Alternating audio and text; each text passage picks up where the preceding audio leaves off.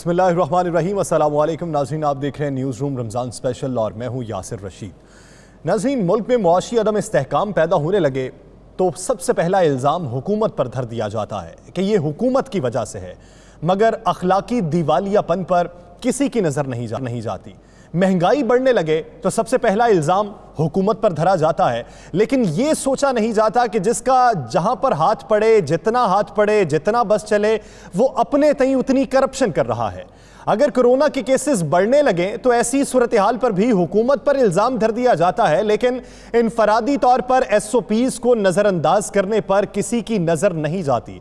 फिर हुकूमत को मुश्किल फैसले लेना पड़ते हैं। फिर हुकूमत इस सोच विचार पर मजबूर होती है कि फ़ौज को बुलाया जाएगा और एस ओ पीज पर अमल दरामद करवाया जाएगा।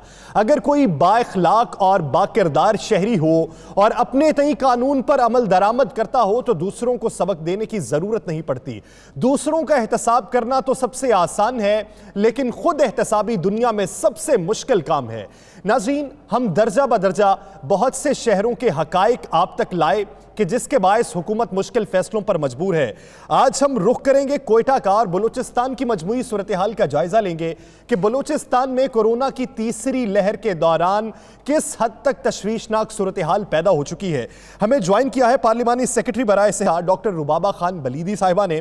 ब्यूरो चीफ कोयटा खलील अहमद हमारे साथ मौजूद हैं और खुशदार से हमारे नुमाइंदा इकबाल मेंगल हमारे साथ मौजूद हैं। बहुत शुक्रिया आप तमाम अहबाब का। डॉक्टर साहिबा सबसे पहले आपकी जानब आऊँगा। क्या समझती हैं कि तीसरी लहर मजमू तौर पर किस हद तक खतरनाक है और बिलखसूस कोयटा को इसने किस हद तक मुतासर किया है? वालेकुम अस्सलाम आई होप सब खैर वाफियत से हूँ। यासर आप बिल्कुल आपने सही कहा है जो तीसरी ले, आ, हम इस वक्त देख रहे हैं तीसरी लहर कोरोना की ये वाकई एक बहुत ज़्यादा हमारे लिए तशवीशनाक एक सिचुएशन बन रही है। क्योंकि इसमें जो हम वायरस के स्ट्रेन देख रहे हैं, ये पहले वाले जो हमने पिछली दो लहरों में देखे थे वायरस उसमें थोड़ा सा म्यूटेटेड वायरस है। और हमें ऐसा लगता है कि अब शायद हम फिर दोबारा बैक टू स्क्वायर वन हो गए हैं कि इसके लिए क्या क्या चीज़ें हैं, क्योंकि since we have not seen this situation before और हम डेली ही इसको मॉनिटर करते हुए देख रहे हैं कि क्या चीज़ किस तरह की जा सकती है इस लिहाज से थोड़ा आई थिंक गवर्नमेंट भी कंसर्न है। और आपने जैसे बिल्कुल कहा कि एस फॉलो नहीं हो रहे हैं, ये हमारे लिए एक और सीरियस इशू है कि लोग एस नहीं फॉलो कर रहे हैं, जिसकी वजह से हमें दोनों जानब जो तवज्जो देनी पड़ रही है ज़्यादा, उसकी वजह से सिचुएशन शायद कुछ गंभीर नज़र आ रही है डॉक्टर साहब हुकूमती इकदाम पे भी बात करेंगे। अभी कुछ फैक्ट्स पे नज़र डाल लेते हैं। खलील अहमद हमारे साथ मौजूद हैं। खलील ये कहिएगा कोयटा की सूरत हाल गुजशत दो माह के अंदर कितनी ख़तरनाक हुई और मस्बत केसेस की शरह कितनी बढ़ी और जो गुजशत वेव से काफ़ी हद तक मुख्तलिफ़ हो। जी यासर बिल्कुल जो कोरोना की ये तीसरी लहर है इंतहाई ख़तरनाक है। और कोयटा समेत बलुस्तान के मुख्तलिफ़ इलाके इससे बुरी तरह मुतासर हुए हैं। कोयटा में जो शरह है, वो तकरीबन चौदह इशारिया दो तक पहुँच चुकी है। इसके अलावा केच जो तुरबत का इलाका है, वहाँ पर ये शरह अट्ठारह फ़ीसद है और खोजदार और यहाँ पर सोलह फ़ीसद है। जो सबसे तशवीशनाक बात यह है कि गुज्त दो माह में एक से सोलह साल के जो बच्चे हैं, उनकी तादाद तीन सौ के करीब है, जो कि कोरोना से मुतासर हुए हैं। इसके अलावा जो है, वो गुज्त रोज़ सिर्फ़ एक सौ इकतालीस केसेज आए हैं और बलुस्तान कोयटा में जो है वो केसेस की जो है वो शरह इंतहाई तेज़ी से बुलंद होती जा रही है। लेकिन आवाम जो है वो और जो ताजर बरदरी है वो किसी सूरत भी जो है वो समझौता करने पर तैयार नहीं है, वो लॉकडाउन करने पर तैयार नहीं है। हालाँकि कोयटा में जो है स्मार्ट लॉकडाउन का जो ऐलान किया गया है, लेकिन उस पर कोई अमल दरामद नहीं हो सक, नहीं हो रहा। इसी तरह हफ़्ता और इतवार को कारोबार मुकम्मल बंद करने के जो है वो अहकाम हैं, लेकिन कोई नहीं सुनता और वो कारोबार जारी है और शाम छः बजे का जो कारोबार बंद करने का हुकूमती या इंतज़ामिया के अहकाम है, उस पर भी कोई अमल दरामद नहीं होता। रात को जो है बाज़ारों में रश फिर बढ़ जाता है। एस ओ पीज़ पर कोई अमल नहीं होता, कोई मास्क नहीं पहन रहा। मैं कहता हूँ कि सिर्फ़ जो हमने ऑब्ज़र्व किया है कि सिर्फ़ दस फ़ीसद लोग कोयटा में जो है वो मास्क इस्तेमाल करते हैं, बल्कि नाइन्टी फ़ीसद लोग जो है वो मास्क इस्तेमाल नहीं कर रहे हैं। इसके अलावा डिस्टेंस नहीं रखते हैं। दुकानदार जो हैं, उन, उनमें कोई वो एस ओ पीज़ पर अमल दरामद नहीं कर रहे। एक तशवीशनाक सूरत हाल है कोयटा में। और आपके लिए ये इंतहाई हैरान कन होगा कि ये जो सूरत हाल है कोरोना की, ये सिर्फ़ कोयटा में जो कुछ इकदाम हैं वो नज़र आ रहे हैं। बाकी इंटीरियर बलुस्तान में जो है वो बिल्कुल इकदाम ना होने के बराबर हैं। आप यकीन करें कि गुज्त दिनों एक डेटा आया जिसमें खुशदार में दो माह में सिर्फ़ चार टेस्ट हुए हैं। तो आप अंदाज़ा करें कि जहाँ चार टेस्ट हुए हैं और वहाँ सोलह फ़ीसद जो है शरह है तो वो क्या सूरत हाल होगी? इसी तरह केच में जो है किसी किस्म की कोरोना लोगों में आगाही नहीं है कि उनको कोरोना है लोगों में तो आगाही नहीं है तो इंतजामिया का किरदार क्या बनता है? ये डॉक्टर साहिबा से जानेंगे। डॉक्टर साहिबा जब अवाम एस ओ पीज को नज़रअंदाज कर रही है कारोबारी तबका जो है वो मानने को तैयार नहीं है। वो ये कहते हैं कि हम मुआशी दिवालियापन तक पहुँच चुके हैं तो हमारे पास कोई दीगर ऑप्शन मौजूद नहीं है। तो फिर इंतजामिया के पास ऑप्शन क्या बचता है? किस तरीके से एस ओ पीज पर अमल दरामद करवाया जाएगा? अवेयरनेस कैंपेन्स तो चल रही है यासिर साहब। देखिए, आज से नहीं है, जब से कोरोना स्टार्ट हुआ है अवेयरनेस कैंपेन्स हो रही हैं, हुकूमती जो इदारे हैं, वो भी आगाही मुहिम चला रहे हैं, कुछ डेवलपमेंट पार्टनर्स हैं, वो भी आगाही मुहिम चला रहे हैं। लोगों को बताया जा रहा है कि आप एस फॉलो करें, क्योंकि कोरोना से बचने का वाहिद तरीका यही है कि आप एस पर सख्ती से अमल दरामद करें। लेकिन ये चीज़ नहीं हो रही है लोग जब फिर ये कहते हैं कि हुकूमत को सख्त इकदाम उठाने पड़ते हैं, उसके बाद मजबूरन, क्योंकि लोग अपना फ़र्ज़ पूरा नहीं कर रहे तो हुकूमत की तो ये ज़िम्मेदारी है कि वो लोगों की वेल बींग और उनकी सेफ्टी के लिए फिर जो है कुछ ऐसे तल्फ फैसले लेने पड़ते हैं हुकूमत को। उसके ऊपर फिर जो है लोगों की एक रिलक्टेंस और रेजिस्टेंस आती है। तो जो हमारी इंतजामिया है, हमने सारे ए और डी को ऑन बोर्ड लिया है, इस पर और महकमा सेहत के साथ भी वो क्लोज कोऑर्डिनेशन में काम कर रहे हैं। Even today we had a meeting with all the D और यही बात थी उसमें भी कि एक तो ये है कि एस किस तरीके से लोगों से फॉलो करवाने हैं। बिल्कुल सही कहा खलील साहब ने तो डॉक्टर साहब फिर किस तरीके से करवाए जाएँगे? इस्लामाबाद और रावलपिंडी में तो फौज तलब कर ली गई। हुकूमत पंजाब ने भी रेकोजिशन भेज दी। तो क्या बलूचिस्तान हुकूमत भी एस पर अमल दरामद के लिए फौज को तलब करेगी? आ, अगर देखिए अगर हालात ऐसे बनते हैं कि लोग एस फॉलो करने पर खुद नहीं राज़ी होते हैं तो मजबूरन ये एक कल फैसला लेना पड़ेगा गवर्नमेंट को। लेकिन आई थिंक ये जो बड़े शहर हैं बलूचिस्तान के जैसे कोयटा हो गया खुशदार हो गया या केस है जहाँ पे पॉजिटिविटी बहुत हाई आ रही है यहाँ के लिए तो ये पॉसिबिलिटी है कि शायद इस तरह का कोई इकदाम किया जाए और फौज को तलब किया जाए। लेकिन अभी तक हम आ, सोच रहे हैं कि इन ताला लोग खुद कोऑपरेट करेंगे। क्योंकि जो सूरत हाल बन रही है आप दूसरे ममालिक को तो छोड़ दीजिए। हमारे पाकिस्तान में ही जो दूसरे सूबे हैं जिस तरह पंजाब में केसेस बहुत हाई हो गए इस्लामाबाद के अंदर बहुत हाई हो गए केपी में बहुत सिचुएशन जो है इस वक्त वो जारी है। लेकिन वहाँ पे रोज़ाना की बुनियाद पे टेस्टिंग की सलाहियत भी बलोचिस्तान से बहुत ज़्यादा है। अभी तक बलूचिस्तान सबसे कम मुतासरा सूबा है। जिस तरह खलील अहमद बता रहे थे कि खुशदार में दो माह के अंदर सिर्फ़ चार टेस्ट हुए। तो क्या आप ये समझती हैं कि बलूचिस्तान जो कम इफ़ेक्टिव है, वो बुनियादी तौर पर अदादुलशुमार में है? ज़मीनी हकायक कुछ मुख्तलिफ़ भी हो सकते हैं। बलूचिस्तान का तो जी देखिए, एक कॉमन परसेप्शन जैसे हम लेते हैं, हमारे यहाँ हर चीज़ सिमिलर नहीं है।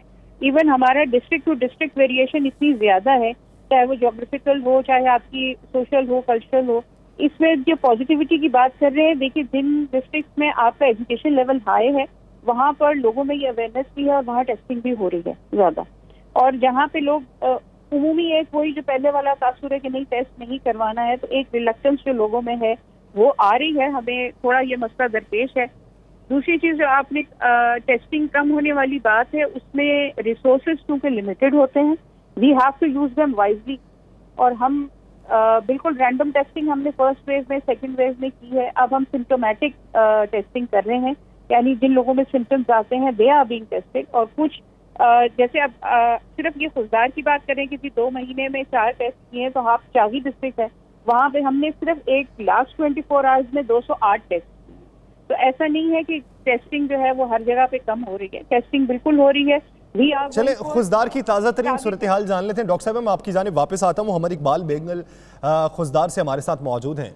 मोहम्मद इकबाल ये कहिएगा कि ये थर्ड वेव के अंदर मजमू तौर पर खुशदार में अब तक टेस्टिंग का अमल जो है उसका दायरा कार कितना वसी किया गया? अब तक पॉजिटिव केसेस जो एक्टिव हैं उनकी तादाद कितनी? जी शुक्रिया। जी बिल्कुल इस वक्त मजमूरी तौर पर मैं कहूँ खजदार कोरोना वायरस की बिल्कुल लपेट में है। यहाँ जो टेस्ट हुआ है, वो अब तक की सूरत हाल के मुताबिक पाँच हज़ार सात सौ बहत्तर है जिनमें से सात सौ उन्नीस पॉजिटिव केसेस है। और ये, यहाँ मैं ये भी बताता चलूँ कि बदकिस्मती से खुशदार में ये अफवाहें आम है, हर चीज़ को साजिश की नज़र से देखा जाता है। तो इस वजह से लोग यहाँ टेस्ट करना, कराने से भी कतरा रहे हैं। ये तो मैं जहाँ तक मैं बात कर रहा हूँ ये तो सिटी का हाल है। अगर आप हम देहातों के रुख करें देहातों की तरफ़ जाए तो वहाँ लोग बिल्कुल नहीं आ रहे। टेस्ट की तरफ़ आ, मेरी बात हुई शफीक दानिश से जो फोकल पर्सन है उनके मुताबिक देहात के लोग तो बिल्कुल ताउन नहीं कर रहे। और बाज़ार में भी ये सूरत हाल है। मजमू तौर पर मैं कहूँ कि दो फ़ीसद भी ऐसे मौजूद नहीं है कि जो मास्क का इस्तेमाल कर। मास्क का इस्तेमाल बिल्कुल नहीं है। और अवाम इंतजामिया के साथ बिल्कुल ताउन नहीं कर रही है। कल हमने देखा कि बाज़ार के अंदर लेवीज की जानब से ये ऐलान किया जा रहा था कि पीज को फॉलो करें और कोरोना की जो तीसरी लहरें इंतहाई खतरनाक है, लिहाजा बाज़ार की जानब रुख कम से कम करें, लेकिन इसके बावजूद भी आवाम कोई ताउन नहीं कर रहा। इसके बावजूद भी अवाम की जानब से ताउन देखने में नहीं आ रहा। खलील अहमद, आप क्या समझते हैं? खुजदार की जो सूरत हाल बयान की गई मोहम्मद इकबाल मेंगल की जानब से कि वहाँ पे लोग डरते हैं तो क्या कोयटा में भी लोगों का एक बड़ा मजमा या बड़ा हजूम ऐसा है जो अभी भी डरता है, जिसमें आगही नहीं है, या फिर टेस्टिंग के हवाले से आगही पूरी है एस पर अमल दरामद नहीं है? जी हाँ बिल्कुल इकबाल ने जो बात की वो यहाँ कोयटा शहर तक तो बिल्कुल ठीक है जो लेकिन इसके नवाई इलाके हैं उसमें जो है वो टेस्टिंग में आ, करवाने में जो है वो काफ़ी लोग रिलेक्टेंट हैं और उनका एक ये भी परसेप्शन है कि जी आ, हम तो मजहबी फैक्टर बहुत ज़्यादा काउंट कर रहा है यहाँ पर कि हम पाँच टाइम वज़ू करते हैं हाथ धोते हैं और मुँह तो इस वजह से जो है हमें करोना क्या कहेगा तो वो बिल्कुल टेस्टिंग की तरफ़ नहीं आ रही मतलब अब इतना आसान हो गया है कि आप फातमा जिना हॉस्पिटल जाएँ या तो वहाँ पे जो है टेस्ट होता है और अगले ही दिन आपको रिपोर्ट मिल जाती है। वहाँ पे काफ़ी सहूलत पैदा की गई है लेकिन लोग रिलेक्टेंट हैं। वो टेस्ट की तरफ़ नहीं आ रहे जिसकी वजह से जो है सूरत हाल काफ़ी तशवीशनाक हो रही है। और जो कुछ लोगों को बिल्कुल पता ही नहीं है उन्हें बुखार हो जाता है उनका सीना जो है ख़राब हो जाता है। और फिर एक ये बात भी है कि जी वबा फैली हुई है कि आपका सीना ख़राब हो गया आपका गला ख़राब हो गया लेकिन उन्होंने हालत काबू से बाहर होने के बाद ही अस्पताल से रुजू किया जाता है। तो क्या हमारे अस्पताल इतने फाल हैं कि ऐसे मरीज़ का इलाज कर सकें? डॉक्टर साहिबा मीडिया रिपोर्ट्स हैं कि कोयटा के अंदर जो फातिमा जना अस्पताल है वहाँ पे जो ऑक्सीजन प्लांट है वो गैर फाल है। जबकि बोलान मेडिकल कॉम्प्लेक्स जो है वहाँ पे सिरे से ही मौजूद नहीं है। एक साल से जायद का अरसा बीत चुका। अगर इसमें हकीकत है तो फिर सवालिया निशान तो बनते हैं कारकर्दगी पर और तैयारी पर। देखिए ये बिल्कुल सच है कि हम ओवरऑल अगर हम बात करें कि हमने ओवरऑल शायद उस तरीके से वी आर नॉट प्रिपेयर्ड जिस तरह हमें होना चाहिए था उसके बाद। बट चीज़ें जो है हमारे पास अभी तक, अल्हम्दुलिल्लाह आर एन कंट्रोल ऑक्सीजन प्लांट की बात आपने जहाँ तक की है तो ऑक्सीजन प्लांट फातमा बीएमसी में नहीं है, लेकिन जो हमारे पास इस वक्त प्लांट्स मौजूद हैं दे आर सफिशिएंट कि ऑक्सीजन सप्लाई जितनी रिक्वायर्ड है, उतनी वो सप्लाई कर रहे हैं। डिमांड के मुताबिक सप्लाई हमारे पास है। और हमने अभी कल ही जो है वो on the C M's direction ये भी हमने एक कदम उठाया है कि आने वाले दिनों में अगर खुदा न खास्ता ऑक्सीजन की डिमांड बढ़ती है तो हमारे पास इन स्टोर जो है ऑलरेडी ऑक्सीजन मौजूद होनी चाहिए। आ, हमारे पास इस वक्त जो पेशेंट सिचुएशन है बलूचिस्तान में वो है कि 18 पेशेंट्स हमारे हाई फ्लो ऑक्सीजन पे हैं फातमा जिला में। और आठ पेशेंट्स हमारे हैं शेख जायद में जो हाई फ्लो ऑक्सीजन पे हैं। वेंट पे कोई पेशेंट नहीं है अलहमदुल्ला और हमारे पास ऑक्सीजन तो डॉक्टर साहबा अगर कोयटा के तालीमी इदारों का हम रुख करें वहाँ की सूरत हाल का जायजा लें तो 27 फ़ीसद मस्बत केसेस का रिपोर्ट होना वो भी तलबा में जिनकी उम्रें भी कम है तो इंतहाई तशवीशनाक बात है। इस पर हुकूमत किस सोच विचार में देखिए एनसीओसी की गाइडलाइंस के मुताबिक स्कूल क्लोजर किया गया है और बच्चों में बिल्कुल पॉजिटिविटी बढ़ रही है। हमने देखा है इस दफ़ा थर्ड वेव इसीलिए तशवीशनाक है कि इसमें हमने जो ये एज ग्रुप हमारा वन से सिक्सटीन और एटीन वाला है, इसमें काफ़ी केसेस सामने आ रहे हैं। लेकिन एक चीज़ जो है, अल्लाह ताला का बड़ा करम रहा है कि ये इन बच्चों में एक तो रिकवरी बहुत जल्दी है, उनके सिम्टम्स इतने बिगड़ नहीं रहे हैं और किसी भी ऐसी सिचुएशन के लिए हमने अपने जो चिल्ड्रंस हॉस्पिटल है, उसको भी ऑन अलर्ट किया हुआ है क्योंकि खुदा ना खास्ता कोई बच्चों की इस तरह की कंडीशन होती है तो हम उसको फ़ौरन ही जो है एड्रेस कर सकें। दूसरी एक अहम बात इसमें यह है कि एस ओ पीज का फॉलो ना करना जो है, बच्चे, उमूमन ये लोग समझ रहे हैं कि जी अगर 18 साल से कम उम्र के बच्चों को वैक्सीनेशन की ज़रूरत नहीं है तो शायद उनको ये, इस पे इन्फेक्शन भी नहीं होगी वायरस से लेकिन थर्ड वेव ने हमें बताया है कि बच्चों में भी इन्फेक्शन आ रही है। वो कि उनकी रिकवरी अच्छी है बच्चों की लेकिन still we have to be careful हर उम्र के बच्चे को या हर उम्र के अफराद को एस ओ पीज़ पर अमल दरामद करना ज़रूरी है। बहुत शुक्रिया डॉक्टर रुबाबा खान बलीदी साहिबा खलील अहमद और मोहम्मद इकबाल मिंगल इस हवाले से अपना वक्त देने के लिए। नाजी खुदारा एहतियात कीजिए एस ओ पीज़ पर अमल दरामद कीजिए। अपना अगर मुआशी पहिया चलाना चाहते हैं तो एस ओ पीज़ पर अमल दरामद करके ही आप चला सकते हैं। बसूरत दीगर हुकूमत को सख्त इकदाम उठाना पड़ेंगे जो हुकूमत के भी हक में नहीं होंगे और हमारे हक में भी नहीं होंगे। नाजीन दीगर इशूज़ पर बात करेंगे और दीगर शहरों की सूरत हाल का जायजा लेंगे एक शॉर्ट ब्रेक के बाद। स्टे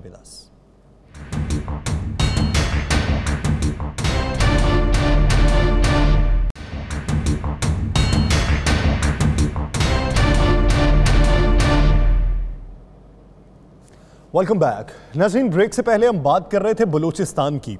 हमें बताया गया कि वहाँ पे लोगों में कैफियत ऐसी है कि कुछ लोग डरते हैं। जहाँ पे एजुकेशन रेट भी कम है, वहाँ पे लोग डरते हैं, आगे ही कम है। लेकिन जिन शहरों में आगे ही है, क्या वहाँ पर सूरत हाल मुख्तलिफ़ है? यकसर नहीं। सूरत हाल वैसी ही है। वहाँ पर लोग आगही होने के बावजूद जूद भी एस ओ पीज को नज़रअंदाज करते हैं और इसी तरीके से मामूलत ज़िंदगी चल रहे हैं। भारत जैसी कोरोना सूरत हाल पाकिस्तान के दरवाजे पर दस्तक दे रही है। अगर वैसी ही सूरत हाल आन पहुँची तो क्या हमारा स्ट्रक्चर वैसा मज़बूत है जैसा भारत का है या जैसा दीगर यूरोपियन ममालिक का है? क्या हमारे अंदर वैसी कुत मुदाफ़ियत है? क्या हमारा निज़ाम वैसा है? क्या हमारा अखलाक वैसा है या रवैये वैसे हैं कि हम इस वबा का तेज़ी के साथ और जल्दी से मुकाबला कर सकें और बाहिम्मत तरीके से कर सकें? लाहौर की अगर सूरत हाल का जायजा लिया जाए तो लाहौर के पंद्रह इलाके ऐसे हैं जो स्मार्ट लॉकडाउन के नतीजे में बंद कर दिए गए हैं। लेकिन इसके बावजूद भी मस्बत केसेस की शरह में रोज बरोज इजाफा होता जा रहा है। सिंध में भी सूरत हाल ऐसी है कि हुकूमत सिंध फौज को बुलाने पर मजबूर हो चुकी है कि एस ओ पीज पर अमल दरामद करवाना इंतजामिया के बस की बात नहीं रही। हमारे नुमाइंदगान हमारे साथ मौजूद हैं। हैदराबाद से हमें वकास ज्वाइन कर चुके हैं और लाहौर से फ़हीम अमीन हमारे साथ मौजूद हैं। सबसे पहले रुख करेंगे लाहौर का। फ़हीम, ये कहिएगा कि लाहौर में सूरत हाल गुजशत दिनों के अंदर किस हद तक ख़राब हुई और उस सूरत हाल को मद्देनज़र रखते हुए हुकूमत पंजाब ने क्या तल्ख फैसले किए?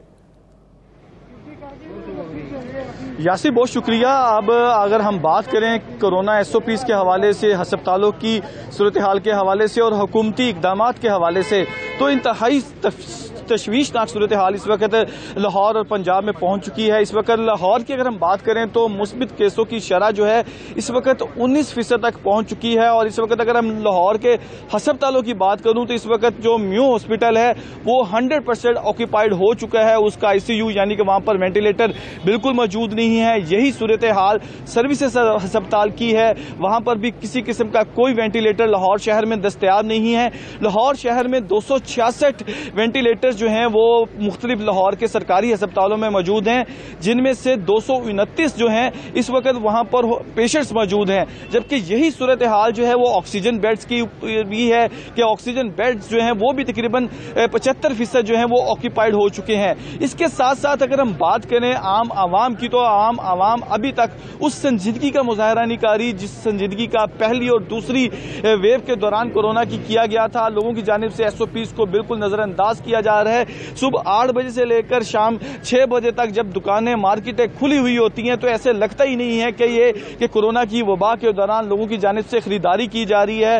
लोगों की जानब से बाहर निकल के जो ईद की शॉपिंग है, वो भी उसी तरह भरपूर जोशो जज्बे के साथ की जा रही है। लेकिन इस तमाम तर सूरत हाल के बाद अब जो इंतजामिया है, वो संजीदा इकदाम उठाने पर मजबूर है मजबूर है।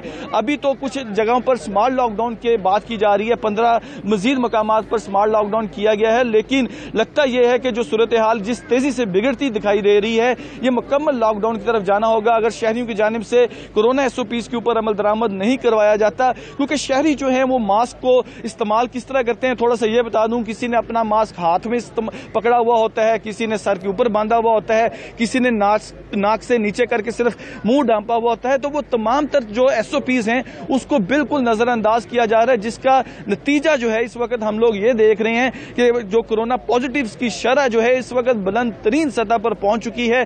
और यही सूरत हाल जो रही तो महकमा सेहत के जो जराए हैं उनका यह कहना है कि जो लाहौर का जो हेल्थ सिस्टम है इतनी बड़ी तादाद में मरीजों को संभालने के काबिल नहीं है। क्योंकि अगर हम बात करें तो रोज़ाना की बुनियाद पर पंद्रह से बीस वेंटिलेटर्स जो हैं वो मजीद ऐड करने की कोशिश की जाती है लेकिन जो कोरोना पॉजिटिव की शरह है वो इतनी तेज़ी से बढ़ती दिखाई दे रही है कि महकमा सेहत के लिए इतने मरीजों को संभालना मुश्किल हो जाएगा। साथ ही साथ मरीजों को संभालना मुश्किल हो जाएगा। फहीम साथ ही रहेगा। नाजरीन को एक बात समझाने की ज़रूरत है। नाजरीन, रोज़ाना की बुनियाद पर जो पॉजिटिव केसेस रिपोर्ट होते हैं, जो आज के दिन पचपन सौ से जायद रिपोर्ट हुए, जो अमवात रिपोर्ट होती हैं, जो आज के दिन 118 रिपोर्ट हुई और मजमू तौर पर अब तक पाकिस्तान में कोरोना वायरस के बायस सत्रह हज़ार अमवात हो चुकी हैं। ये वो इदाद शुमार हैं कि जो अफराद बीमारी महसूस करने पर जो केसेस रिपोर्ट होते हैं, वो हुकूमती सतह पर रिपोर्ट होते हैं कि आप बीमार हुए, अस्पताल में गए, आपका इलाज हुआ, आपका टेस्ट किया गया, फिर तशखीस हुई, उसके बाद आप हुकूमती नंबर्स में शामिल हो गए। इस तरीके से ये केसेस रिपोर्ट होते हैं। तो सोचिए कि अगर कोई बीमार हुआ, अस्पताल ही ना गया, इलाज ही ना करवाया टेस्ट ही ना करवाया, तशखीस ही ना हो पाई तो वो नंबर में शुमार नहीं होता। तो ये एक्चुअल नंबर नहीं है। ज़मीनी हकायक इससे मुख्तलिफ़ हो सकते हैं। हमें एहतियात करने की ज़रूरत है। हैदराबाद का ही रुख करेंगे। मोहम्मद वकास हमारे साथ मौजूद हैं। मोहम्मद वकास, ये कहिएगा कि इस वक्त एक्टिव पॉजिटिव केसेस हैदराबाद में कितने हैं? कितने मरीज़ ऐसे हैं जो अस्पताल में जेर इलाज हैं और कितने होम आइसोलेशन में? जी बिल्कुल, यासिर, हैदराबाद की सूरत हाल भी लाहौर से या पंजाब से वो कुछ मुख्तलिफ़ नहीं है। यहाँ पे अगर हम बात करें, जैसे आपने पूछा एक्टिव केसेस का तो इस वक्त हैदराबाद में 1230 एक्टिव केसेस मौजूद हैं। और अगर हम बात करें होम आइसोलेशन की तो ग्यारह सौ इकसठ अफराद ऐसे हैं जो कि अपने घरों में करंतना है, जबकि अगर हम बात करें साठ से जायद अफराद ऐसे हैं जो मुख्तलिफ़ अस्पतालों में। अगर हम बात करते हैं सिविल अस्पताल, जो कि हैदराबाद का सबसे बड़ा सरकारी अस्पताल है, वहाँ इस वक्त साठ से ज़्यादा मरीज़ हैं जो कि जेर इलाज हैं, जो गुंजाइश सिविल अस्पताल की, वो गुंजाइश खत्म हो चुकी है। अब जो मरीज़ नए आ रहे हैं, उन्हें जामशुरो हॉस्पिटल जो है मुंतकिल किया जा रहा है। लेकिन इस तमाम सूरत हाल के बावजूद जब केसेस बढ़ रहे हैं, अगर हम चौबीस घंटों की बात करते हैं तो हैदराबाद में गुजशत चौबीस घंटों के दौरान एक सौ चौहत्तर अफराद में वायरस की तस्दीक हुई है, जबकि दो अफराद जो है, वो जाबाहक हुए हैं। लेकिन इस तमाम तर सूरत हाल के बावजूद हम देख रहे हैं कि शहरियों की जानब से गैर संजीदगी का मुजाहरा किया जा रहा है। अवाई मकाम हो, बाज़ार हो, सब्ज़ी मंडी की हम बात कर लें, अनाज मंडी की हम बात करें तो रोज जो है, वहाँ पे काफ़ी बड़ी तादाद में शहरी मौजूद होते हैं। ना शहरों पे मास्क लगाया होता है, ना समाजी फासला इख्तियार किया होता है। और शायद यही वो वजह है कि जिसकी वजह से हैदराबाद में केसेस जो है, वो तेज़ी के साथ बढ़ रहे हैं। यहाँ पे जिला इंतजामिया की अगर हम बात करते चले तो आज जो है, वो स्मार्ट लॉकडाउन का इतला किया गया है, जो कि हैदराबाद की आठ यूसीज में लगाया गया और पाँच मई तक ये स्मार्ट लॉकडाउन बरकरार रहेगा। लेकिन इसके बावजूद भी शहरी जो है, उनकी जानब से संजीदगी का मुजाहरा इस वक्त लाजमी है। तभी माहरीन यही कह रहे हैं कि अगर शहरियों ने एसओपी पर अमल दरामद नहीं किया तो केसेस बढ़ते रहेंगे। गुजशत रात हमने देखा कि जिला इंतजामिया की जानब से मुख्तलिफ़ मकाम पर जो है कार्रवाइयाँ भी की गई हैं। वो होटल जो रात देर गए तक खुले होते हैं, उन पे उन्हें सील किया गया है, जुर्माने आयद किए जबकि जो फर्दन फर्दन शहरी हैं, उन्हें भी जो मास्क के ऊपर सौ रुपए का जुर्माना है, वो आयद किया गया है। लेकिन उसके बावजूद आज जब सुबह से हम रिपोर्ट कर रहे हैं, हम देख रहे हैं, क्योंकि आज स्मार्ट लॉकडाउन लगाया गया है, मुख्तलिफ़ मकाम पे गए तो वहाँ सूरत हाल जो है, वो कोई मुतमिन नहीं सूरत हाल नहीं है। बहुत खतरनाक सूरत हाल है, शहरी जो है, उस जानब लेके जा रहे हैं सूरत हाल को कि हैदराबाद में कहीं वो नौबत आए कि लॉकडाउन लगाना पड़ जाए। जी। सही। फ़हीम इतला तो ये भी है कि 18 रमज़ान मुबारक से शायद मुकम्मल लॉकडाउन की कोई तजवीज़ दी गई है। क्या ऐसी कोई तजवीज़ है? और अगर है तो किस सूरत हाल को मद्देनज़र रखते हुए? यासिर आज दोपहर को एक प्रेस कॉन्फ्रेंस की गई थी सूबाई वज़ीर सेहत यासमीन राशद की जानब से। उनकी जानब से पंजाब के जो कोरोना पॉजिटिव केस हैं, उनके हवाले से इंतहाई होलनाक इंकशाफात किए गए कि सताईस फ़ीसद कोरोना पॉजिटिव की शरह जो है वो फैसलाबाद पर पहुँच चुकी है, जबकि बीस फ़ीसद जो कोरोना पॉजिटिव की शरह है वो मुल्तान में पहुँच चुकी है। तो इतनी ज़्यादा शरह के साथ जो है फिर रूटीन का कारोबार चलाना जो है वो इंतहाई मुश्किल होगा और इससे हवाले से मुतद बार जो है वो लाहौर की इंतजामिया पंजाब हुकूमत की जानब से वार्निंग दी गई है कि अगर शहरी इख्तियात नहीं करेंगे तो फिर जो है मुकम्मल लॉकडाउन की तरफ़ जाना पड़ेगा जो सुबह शहरी से शाम छह बजे तक सूरत हाल ऐसी ही रही तो फिर मुश्किल फैसले करना पड़ सकते हैं। मुकम्मल लॉकडाउन की तरफ़ जाना पड़ सकता है। अवामी जो रद्द अमल है अवामी जो रिस्पॉन्स है उसमें तब्दीली क्यों नहीं आ रही? वो माजी जैसी आवाम का किरदार क्यों नहीं देखने में आ रहा? जो अब से दूसरी लहर या पहली लहर के दौरान देखा गया था। इसी बारे में बात करने के लिए माहिर नफ्सियात डॉक्टर उजमा सदाकत साहिबा ने हमें ज्वाइन किया है। डॉक्टर साहिबा, बहुत शुक्रिया आपके वक्त का।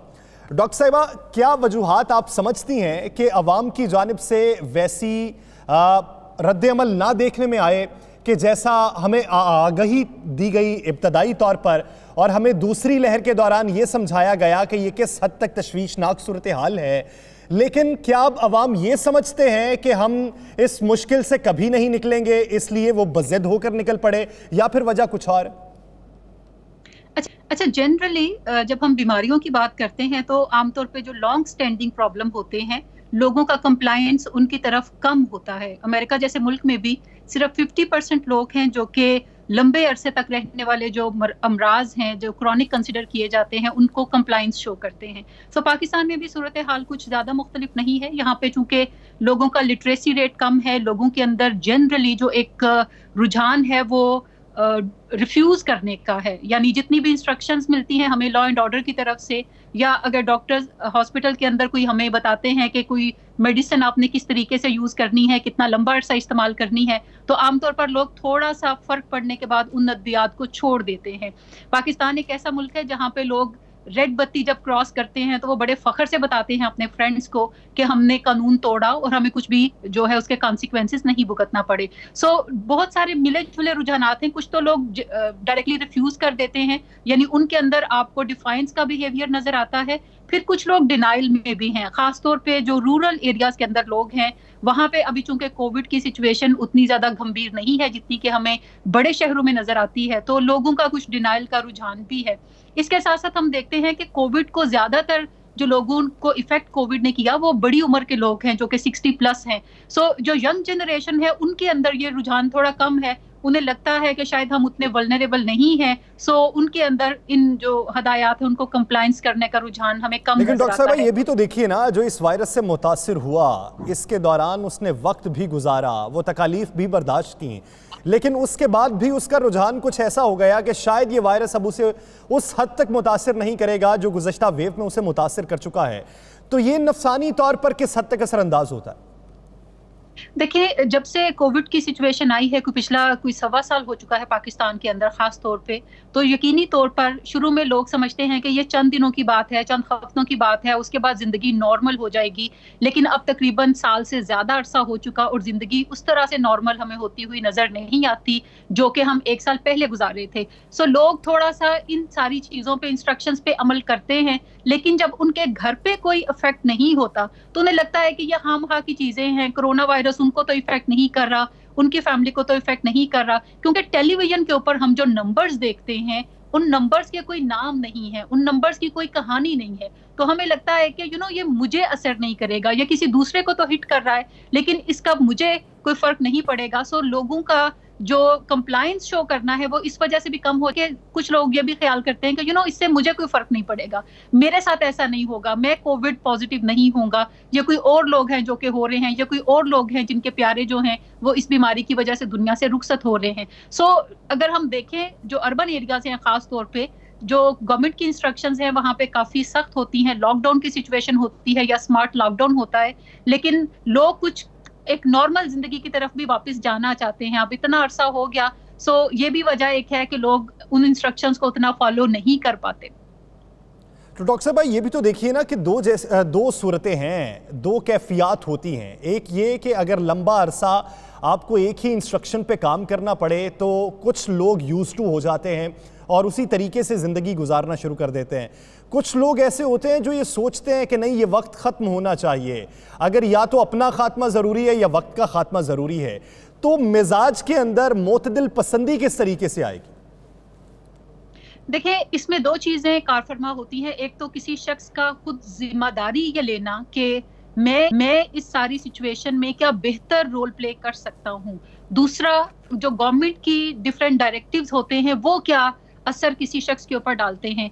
फ़र्स्ट वेव कोविड की आई लॉकडाउन हो गया बहुत सारे लोगों ने कंप्लाइंस शो किया बट आफ्टर दैट जैसे ही थोड़ा वेव का असरात कम हुए तो गवर्नमेंट ने एकदम से लॉकडाउन को ओपन कर दिया। जिसका मतलब ये था हमें ये एक मैसेज मिला कि जैसे हर चीज़ बिल्कुल दुरुस्त हो गई है। देन सेकेंड वेव आई फिर कुछ स्मार्ट लॉकडाउन हुआ लेकिन ज़्यादा चीज़ें कंट्रोल नहीं करना पड़ी। सो so, मेरे ख्याल में गवर्नमेंट को भी थोड़ा सा एक स्ट्रेटेजिकली चलने की ज़रूरत है कि हर चीज़ को एकदम ओपन करने की बजाय कुछ परसेंटेज उस चीज़ का ओपन किया जाए जिससे लोगों को यह एहसास रहे कि अभी हालात बिल्कुल नॉर्मल नहीं हुए हैं। अभी हमें इन सारी चीज़ों को बिल्कुल ओपन हमें नहीं करना, ना ही हमें घर से बाहर जो है वो दही भी लेने जाना है तो फिर निकलना है फिर मिर्चें हमें चाहिए तो उसके लिए भी निकलना है फिर पकौड़े हमें चाहिए तो हमें उसके लिए भी निकलना है। सो so, कुछ ना कुछ हमें खुद भी ज़िम्मेदारी लेनी पड़ेगी और फिर गवर्नमेंट को भी अपने डायरेक्टिव इस तरीके से करने पड़ेंगे जिसमें हमें कोई स्ट्रेटेजी नज़र आती अच्छा, है। एक साल से जायद का अरसा बीत चुका है इस वबा के दौर को तो आपने मुशाहिदा भी किया होगा दीगर का आपने ये भी देखा होगा कि कहाँ पे शरह अमवात या मस्बत केसेस की शरह कम हुई स्ट्रेटजी क्या रही हमत अमली क्या तरतीब दी गई अवाम में जो किरदार था, जो ख्यालात थे और कोरोना को लेकर बिलखसूस उन्होंने अपनी लाइफ स्टाइल को जो तब्दील किया, वो किन हकाइक की बुनियाद पे किया? तो आपको किस मुल्क का मॉडल बेहतर लगा और किस वजह से लगा? देखिए न्यूजीलैंड की एक काफ़ी अच्छी मिसाल है। इसके अलावा इसराइल की एक अच्छी मिसाल है कि उन्होंने अपने मुल्क से कोविड को बिल्कुल खत्म कर दिया। लेकिन उसमें दोनों तरफ़ का किरदार जो है, वो अहम है कि गवर्नमेंट का प्लान एक रखना और उसके मुताबिक ग्रेजुअली उस प्लान के ऊपर चलना। एंड नंबर टू अवाम का उसकी तरफ़ अच्छा रद्द अमल देना। अवाम का उस प्लान को एक्सेप्ट करना और अपनी ज़िम्मेदारी महसूस करते हुए अपने तौर पर जो वो कर सकते हैं फैलाव को कम करने के लिए यानी क्राउडेड प्लेसेस के अंदर ना जाना मास्क को रखना अपने जो नाक के ऊपर मास्क को रखना इसके अलावा हाथ बार बार धोना और ताकि वो अपने आप को और अपने प्यारों को इन सारी चीज़ों से बचा सके। सो so, मेरा ख्याल है हम दोनों पार्टियों को मिलकर काम करना होगा। बतौर एक इंसान के हमें खुद भी अपने किरदार को समझना है कि हमारे से फैलाव उसका हो रहा है या हम अगर बाहर जा रहे हैं और बाहर से वायरस कैरी कर रहे हैं हो सकता है हमें उतना इफ़ेक्ट ना करे लेकिन हमारे घर के अंदर जो बुज़ुर्ग हैं उन्हें वो हार्डली हिट करने की तरफ़ जाए। समझने की ज़रूरत है। डॉक्टर साहब साथ ही रहेगा रुख करेंगे फिर से। हैदराबाद का मोहम्मद वकास साथ मौजूद हैं। मोहम्मद वकास एक साल से जायद का अरसा बीत चुका है। क्या अभी भी अवाम में ऐसी तादाद मौजूद है जो ये समझती है कि ये वायरस कुछ नहीं है? हुकूमत की इख्तरा है यह प्रोपेगेंडा। है जी बिल्कुल, यासिर सूरत हाल हैदराबाद की कुछ ऐसी ही है। जब पहली लहर आई कोरोना की तो हमने देखा कि लोगों के अंदर डर था। एक लोग मास्क पहन रहे थे, समाजी फासला जो है वो अख्तियार किए हुए थे और लॉकडाउन पे खसूस जो है वो काफ़ी अच्छी तरीके से अमल दरामद हो रहा था। लेकिन अब जब तीसरी लहर है, एक पूरा साल हम कोरोना को हमने देख लिया है, हम पिछला साल पूरा कोरोना के अंदर गुजारा है, लेकिन उसके बावजूद अब जब ये होना चाहिए था कि शहरियों में शूर बढ़ना चाहिए था, उनकी ज़िम्मेदारी का एहसास उनके अंदर ज़्यादा होना चाहिए था, लेकिन सूरत इसके बरक्स है। आज भी जब शहर शहरियों से हमने गुफ्तु की तो उनका यही कहना था कि कोरोना है किधर? हमें तो कोई कोरोना नज़र नहीं आता। तो शहरियों को शायद यूँ लगता है कि कोरोना कोई ऐसा वायरस है जो जब तक उनको नहीं दिखेगा तो उस वक्त तक उनको असर भी नहीं करेगा। तो सूरत हाल हैदराबाद की ऐसी है कि बहुत ज़्यादा शहरियों की जानब से गैर संजीदगी का मुजाहरा किया जा रहा है। कोई इस बात को तस्लीम करने को तैयार नहीं है कि ये वो कोरोना वायरस है जिसने पूरी दुनिया में जो है वो अमवात की तादाद इतनी ज़्यादा बढ़ा दी है कि अब जो भारत हमारे सोच और ख्याल को मद्देनजर रखते हुए हुकूमत सिंध ने फौज को तलब किया। फौज को तलब करने की ज़रूरत पड़ी कि एस ओ पीज़ अपने तई तो आवाम उस पर अमल दरामद नहीं कर रहे तो फ़ौज के ज़रिए अमल दरामद करवाया जाएगा। लाहौर का फिर से रुख करते हैं। फ़हीम ये कहिएगा कि लाहौर में कोई भी ऐसा शख्स मौजूद नहीं है जिसके ख़ानदान में या जानने वालों में कोई इस वायरस में मुबतला ना हुआ हो या जान ना गवाई हो। क्या उसके बाद भी रवैयों में तब्दीली नहीं आई? रवैये वैसे ही हैं जो इस वबा के आने पे शुरू पे थे। यासिर, आपने बड़ा एक अहम सवाल उठाया है कि लोगों को इस हवाले से कितनी आगाही है। अब तक जो आदादो शुमार लाहौर में सामने आ गए हैं तो अब हर फैमिली मेंबर जो है, किसी एक खानदान का कोई ना कोई फैमिली मेंबर जो है, वो कोरोना का शिकार ज़रूर है। यानी कि अपनी गिरदो नमा में कोई दोस्त, कोई रिश्तेदार जो है, वो कोरोना के बायस जो है, वो बीमार हुआ हस्पताल का रुख किया, या उसने क्वारंटाइन का वक्त गुजारा। उसके बाद ये तो शक व शुबा जो है, लोगों की तरफ़ से बिल्कुल निकल चुका है कि कोरोना कोई है या नहीं है। लेकिन इसके साथ एक अहम सवाल ये मैं शुबा तो निकल चुका है लेकिन अमल दरामद नहीं हो रहा तो इस पे फिर सवाल ये निशानी बनता है हैरत ही बनती है। डॉक्टर साहबा एक आखिरी सवाल तीस सेकंड में जवाब दीजिएगा। एक खानदान का सरबरा उस पर बतौर सरबरा क्या जिम्मेदारियाँ आयद होती हैं इस वबा के दौर में? देखें घर का सरबराह हो या मुल्क मुल्क का सरबराह हो डेफिनेटली जो एजुकेट करना है अपने फैमिली मेंबर्स को और कुछ ना कुछ डायरेक्शंस या एसओपीज के ऊपर अमल करवाना है ये ज़ाहिर बात है जो हेड ऑफ़ द फैमिली है, ये उनकी रिस्पॉन्सिबिलिटी बनती है। घर के सरबरा की ये रिस्पॉन्सी बनती है कि वो समझाए, वो इस बात का इदराक पैदा करे कि ये वबा है और इस वबा से अगर कोई मुतासर हुआ तो पूरा ख़ानदान मुतासर हो सकता है, पूरा मुआरा मुतासर हो सकता है, पूरा मुल्क मुतासर हो सकता है। समझने की ज़रूरत है। बहुत शुक्रिया डॉक्टर अजमत साहिबा, फ़हीम अमीन और मोहम्मद वकास इस हवाले से अपना वक्त देने के लिए। नाजीन न्यूज़ रूम रमज़ान स्पेशल से यासर रशीद को दीजिए इजाज़त। अल्लाह के बाद।